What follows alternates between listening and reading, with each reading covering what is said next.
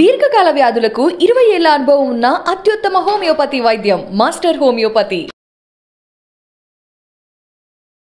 నమస్తే అమ్మా. అమ్మ బల్లులు. బల్లులు అంటేనే చాలా మంది భయపడతారు. అసలు బల్లులు ఇంట్లోకి రావడం అనేది దేనికి సంకేతం? బల్లులు రావడం మంచిదేనమ్మా. బల్లి ఏమీ చెడు కాదు.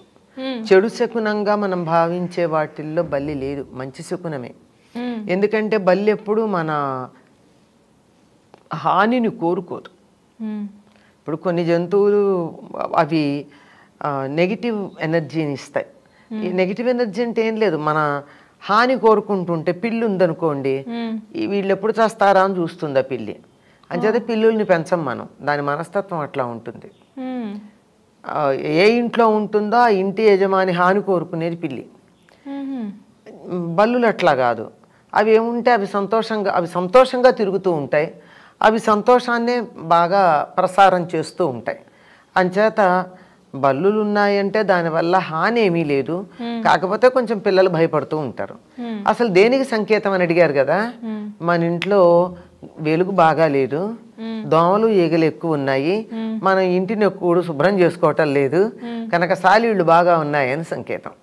ఎందుకంటే బల్లి సాలీళ్ళను కూడా తినేస్తుంది. ఆ బల్లి తినలేనన్ని సాలీళ్ళు ఉంటే మరీ కష్టం. ఇంత అంత లావున బలిసుంటాయి కొన్ని బల్లులు. అంత లావున బలిసున్నాయి అంటే బాగా ఇంట్లో దోమలు ఈగలు సాలీళ్ళు మొదలైనవి అత్యధికంగా ఉన్నాయి. మన ఇల్లు శుభ్రం చేసుకోవటం లేదని దానికి సంకేతం. మ్మ్. మామూలుగా ఉందనుకోండి మంచిదే ఉండడమే మంచిది. గోడలు నున్నగా ఉంటే మాత్రం అవి ఉండవు. ఏమాత్రం కాస్త పట్టు ఉన్నా. అవి ఉంటాయి బల్లులు. తర్వాత బల్లులు హానికరం అని చాలా మంది అంటారు. లావుగా తెల్లగా ఉండే బల్లులు పాయిజనస్ కాదు. అంటే దేంట్లో అయినా పడినా అది విషపూరితం అంటారు కదా. అవవు అసహ్యమే. ఇప్పుడు దోమ పడింది అనుకో దోమ పడిన పదార్థం తింటే మనం ఏమీ చచ్చిపోం కదా. అయినా తినం. అసహ్యం. ఈగ వాలిందనుకో అసహ్యం పక్కన పడేస్తాం. అట్లాగే ఇది కూడా అసహ్యం. ఇంత జంతువు పడితే ఆ పదార్థం పనికిరాంతి అవును. కానీ ప్రాణాంతకం కాదు. నల్లబల్లి ఒకటే ప్రాణాంతకం విషం. నల్లది సన్నగా ఉంటుంది. దాన్ని చూస్తేనే అసహ్యం అనిపిస్తుంది. దాని మీద చుక్కల్లాగా ఉండి చాలా. ట్రాన్స్పరెంట్గా ఉండి ఇంతే ఉంటుంది. ఇంతకన్నా పొడిగి ఎక్కువ పొడుగు కూడా ఉండదు. చిన్నగా సన్నగా నల్లబల్లి ఆ నల్లబల్లి మాత్రమే అది విషం కలిగి ఉంటుంది టాక్సిన్ అంతే అంటే తినంగానే చచ్చిపోతారని కాదు. ఆహారం పాడైపోతుంది. దానివల్ల వాంతులు ఇట్లాంటివన్నీ అవుతాయి పడక అలా ఉంటుంది. తెల్లబల్లులు అంత ప్రమాదకరమైనవి కాదు. కాకపోతే జాగ్రత్తగా ఉండవలసింది ఏంటంటే వాటి తోకలు అవి అప్పుడప్పుడు విరిగి ప- పడిపోతాయి. మళ్ళీ దాని తోక పెరుగుతుంది. విశేషం. మనకి వేలు విరిగిందనుకో ఆ వేలు మళ్ళీ రాదు కదా. కానీ బల్లికి మాత్రం తోకపోయినా మళ్ళీ వస్తుంది. కొత్త తోక వచ్చేస్తుంది దాని శరీరం నుంచి పడేటటువంటి స్కేల్స్ అవి ఉంటాయి కదా పైన పొలుసులు. అవన్నీ అనారోగ్యం అంతే. పాయిజన్ అని కాదు కానీ ఏదైనా మనం తినేది కాక ఇంకోటి వస్తే ఏదైనా అనారోగ్యమే కదా? అలా అసహ్యము అనారోగ్యం అనే తప్ప అదేమి విషంతో నిండి ఉందని గాని విషపూరితమని గాని చెప్పడానికి వీల్లేదు. అంటే ఎక్కువ మీరు చెప్పినట్లుగా ఏవో మనం ఇంటిని శుభ్రంగా ఉంచుకోకపోతే బల్లులు రావడం ఒక రకం. కానీ కొంతమంది ఇళ్ళలో ఎక్కువగా బల్లులు వస్తూ ఉంటాయి. ఎంత తరిమినా అమ్మ ఎంత శుభ్రంగా ఉంచుకున్నా వస్తాయి. అవి- అవి వాటిని అవి రాకుండా చేసుకోవడానికి ఏం చేయాలమ్మా?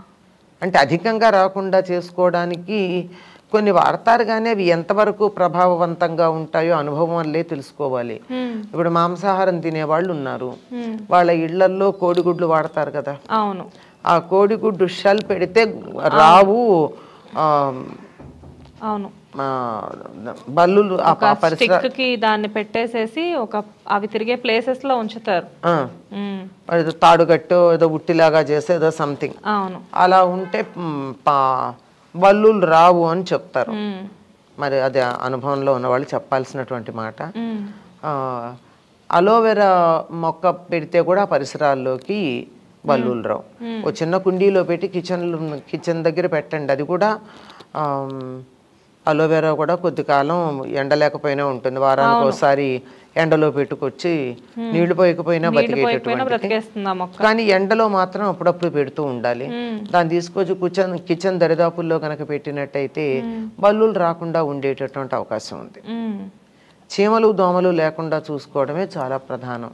కాకపోతే బల్లుల వల్ల మనకు వచ్చేటటువంటి ఇబ్బంది ఏంటంటే అవి ఎక్కడ పడితే అక్కడ వాటి గొద్దెలు పడుతూ ఉంటాయి. అంటే వదిలేస్తాయి కదా ఆహారం తిన్నాక. అవి చాలా అసహ్యం. ఏది పడినా ఒక రాయే మనం మట్టి రాయే అన్నంలో ఉంటే మనం భరించలేం కదా ఇట్లాంటివి పడితే మనం ఎలా భరిస్తాం? అందువల్ల అసహ్యం తప్ప ప్రాణాంతకమని కాదు. అది నేను చెప్పేది. వాటిని పోషించమని ఉంచమని కాదు. ఒక అపప్రధ ప్రాణాంతకమని అంతే అంతకన్నా ఇంకేం లేదు. మంచి ఇన్ఫర్మేషన్. నమస్తే అమ్మా. వస్తే